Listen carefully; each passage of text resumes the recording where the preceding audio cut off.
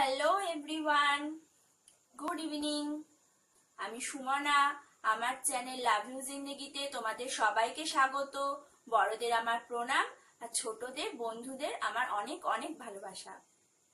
তো আজকে হেডিংটা দেখে তোমরা নিশ্চয়ই বুঝতে পারছ যে অনেকদিন পরে আমার বেশ মনটা খুব ভালো আছে। খুব ভালো লাগছে চিন্তা মুক্ত লাগছে। তো কি কি কারণে মনটা ভালো হয়ে গেল দুশ্চিন্তা সব চলে গেল কীভাবে, সেটাই তোমাদের বলব। দেখতে থাকো আমার চ্যানেল, ভিডিওটা পুরোটা দেখার জন্য অনুরোধ করছি। তো প্রথমেই বলে রাখি যে তোমার তোমরা যারা আমার চ্যানেলের রেগুলার ভিউয়ার্স তারা তো জানবেই যে আমার ভাই অসুস্থ ছিল করোনা হয়েছিল আমার ভাইয়ের। ফাইনালি ওর চোদ্দ পনেরো দিন হয়ে গেছে এবং ফাইনালি ডাক্তার চেক আপ করেছে, এবং ওকে সম্পূর্ণভাবে সুস্থ এটাই বলেছেন ডাক্তার, কোনো আর সমস্যা নেই।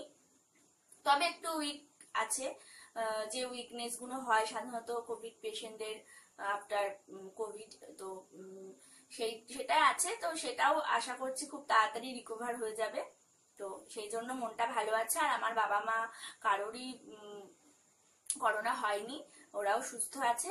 তো যেহেতু দূরে থাকি, ওরা বসিরহাটে থাকে, আমি বারাসাতে থাকি, সবসময় ওদের নিয়ে আমার একটা চিন্তা থাকে। তো সেই জন্য এখন সবাই ভালো আছে, সেই জন্য অনেকটা চিন্তামুক্ত হতে পেরেছি।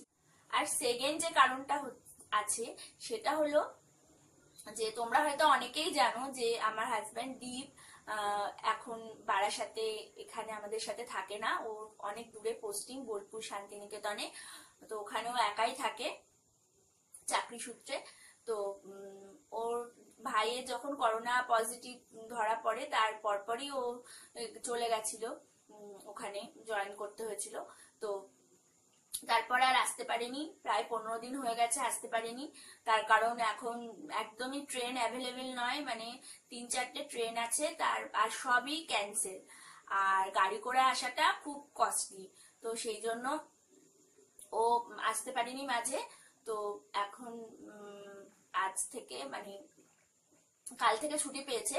তো আজকে ও রাত দুটোই ট্রেন তো সেই ট্রেনে ও কালকে ভোরবেলা পাঁচটা, সাড়ে পাঁচটা নাগাদ হয়তো হাওড়াতে পৌঁছাবে। তো সেই তারপরে সেখান থেকে ওলা বা উবের যা পায় সেটাতে করে বাড়ি ফিরবে। মানে খুব কষ্ট করেই আসবে। সারা রাতই ট্রেনের মধ্যে ঘুম হবে না। তারপরে যেহেতু ও যেখানে থাকে, সেখান থেকে স্টেশনটা অনেক দূর। আর রাত্রিবেলা কোনো ট্রান্সপোর্ট মানে পাওয়া যাবে না। সেই জন্য অনেক আগে আগে গিয়ে স্টেশনে বসে থাকবে। সেখানে তারপরে সেই দুটো কুড়ি এরকম টাইম হবে, তো সেই ট্রেন ধরে আসবে। তো যাই হোক, অনেক কষ্ট করেও হলেও আফটার অল বাড়ি ফিরছে মানে খুব বেশি দিনের জন্য না, চার পাঁচ দিন থাকবে।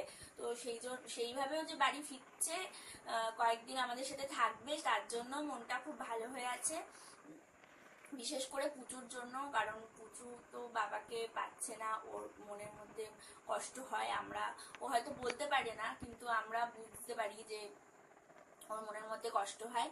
তো সেই জন্য পুচুর জন্য আর বাড়িতে ও ওখানে একা একা থাকে দীপও একা একা থাকে, সেই জন্য ওরও অনেক অসুবিধা হয়, খাওয়া দাওয়া ভালো করে হয় না।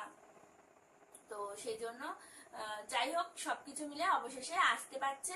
সে চার পাঁচ দিন হলেও বাড়িতে থাকতে পারবে, সেটাই সব থেকে বড় ব্যাপার। তো, আর এই যে মানে গত পনেরো কুড়ি দিন ধরে যে টানা পড়েন গেছে আমার ভাইকে নিয়ে, তারপরে যেহেতু ওর ভাইয়ের সংস্পর্শে এসেছিল, তাই সেটা নিয়েও একটা টেনশন ছিল। এই সমস্ত কিছুর মধ্যে অনেক মানে হয়তো জীবন জীবনের মধ্যে চলেছে, সবকিছুই করেছি খাওয়া দাওয়া করেছি, সবকিছুই করেছি, কিন্তু তার মধ্যেও মাথায় একটা টেনশন ছিল। কিন্তু সেটা অনেকটা আজকে মনে হচ্ছে যে টেনশনটা মানে অনেকটা কমেছে এবং ভালো লাগছে।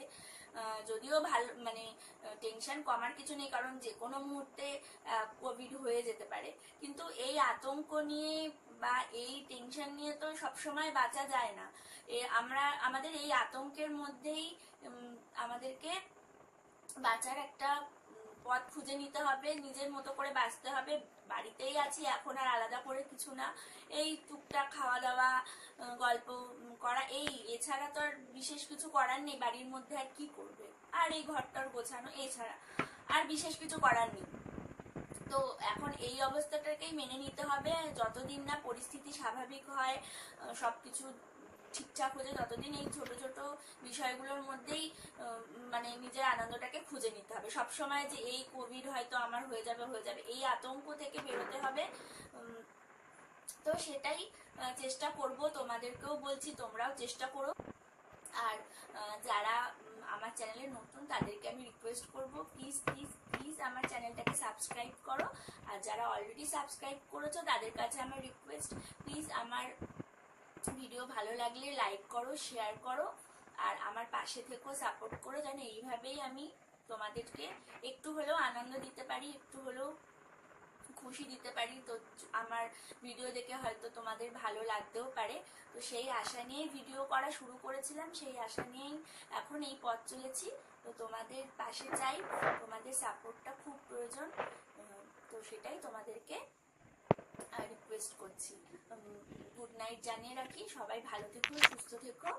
আর টেনশন কমিয়ে চিন্তা এগুলো থেকে মানে যতটা বিরত থাকা যায় ততটা থাকার চেষ্টা করে পজিটিভলি জীবনটাকে কাটানোর চেষ্টা করো।